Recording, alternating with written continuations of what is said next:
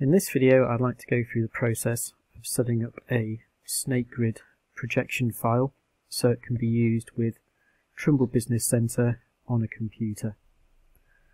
The first thing to do is to take the DAT file containing the SnakeGrid parameters and place it into your geodata folder. Now that's located on program data, Trimble and then geodata.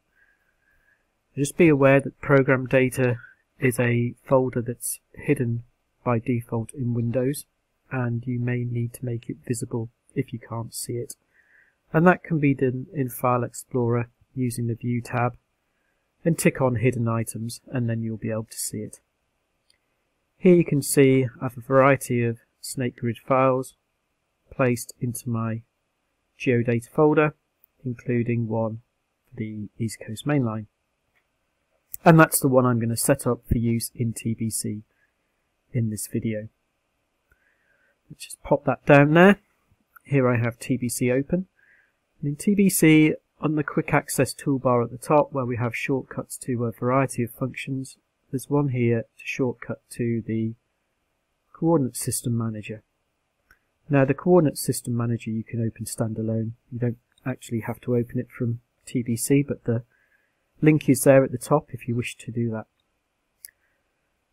In the coordinate systems list, I already have a section set up here called snake grids, but I'll set up this one from scratch and make a new entry completely. So I'm going to right click on coordinate systems and choose add. So in effect I'm making a new entry here, almost like a new folder. Call it snake grids 2.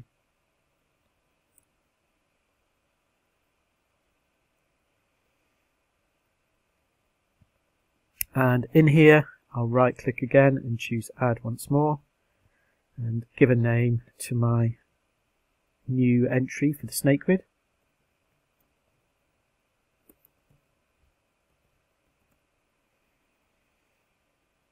I'll leave the defaults as they are here and go on to projection and in the projection list pick snake grid from the bottom there and from this drop down you'll see all the DAT files that are in your geodata folder.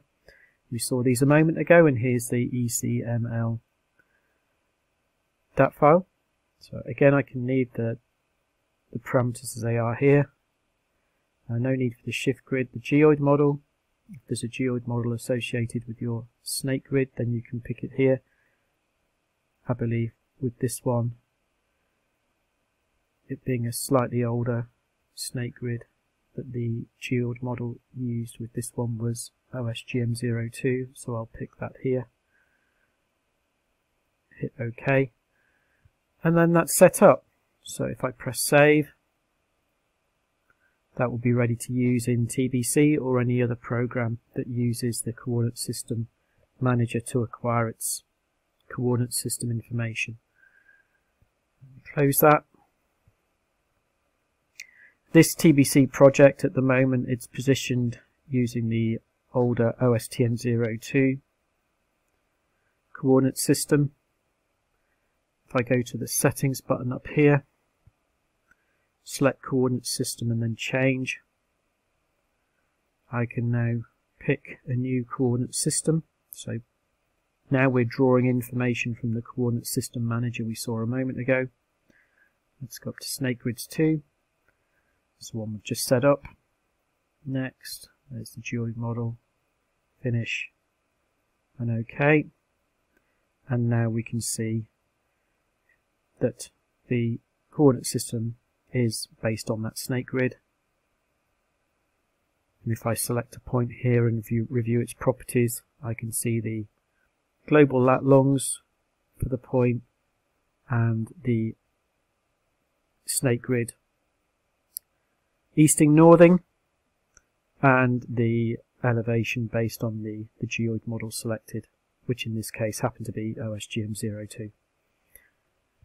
So that's how you can set up the snake grid for use with TBC. It's possible then to import data into TBC to put it into that snake grid system.